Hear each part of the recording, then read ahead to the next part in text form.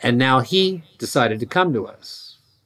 I didn't know him other than saying hi, and he was present at the first visit where I met his wife.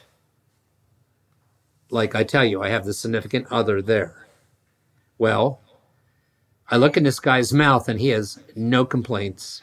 And every single tooth in his, he had about eight upper teeth. They were all decayed, and they looked decayed, by the way.